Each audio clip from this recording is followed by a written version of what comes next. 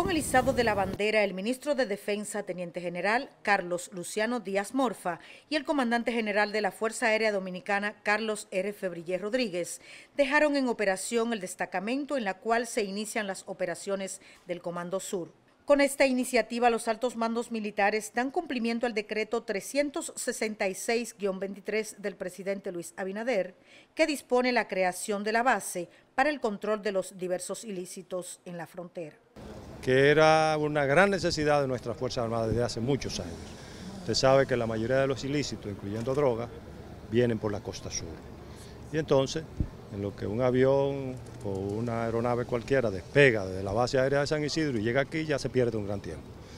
Entonces ya este es el inicio de que esta base aérea comience a operar y estamos seguros que va a dar muy buenos resultados.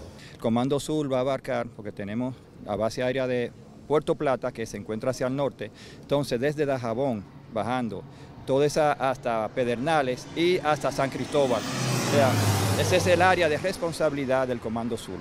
Mientras tanto tenemos este destacamento donde va a estar apostado, van a estar aeronaves, tanto de ala fija como ala rotatoria, para eh, ese, tipo de amenaza que, que, tengamos que enfrentar día a día. Las labores de la Fuerza de Tarea de Aire y Tierra estarán apoyadas por la Armada Dominicana con la supervisión del litoral costero, según explicó su comandante, el contraalmirante Agustín Amorillo Rodríguez. Con esta importante base que vamos a tener aquí, eh, vamos a tener un apoyo más rápido, más eficiente, eh, que va a apoyar nuestras aguas jurisdiccionales. Eh, la Armada tiene apostado aquí en, Barahona, en Cabo Rojo, unidades de superficie para contrarrestar todas las actividades ilícitas, especialmente ligadas al narcotráfico. ¿Y próximamente van a inaugurar algunos? próximamente vamos a inaugurar eh, cuatro destacamentos nuevos que lo tenemos apostado desde en, en el Quemaito, Paraíso, Los Patos y, y Bauruco. La gobernadora provincial dijo que con la base militar la población se siente más segura.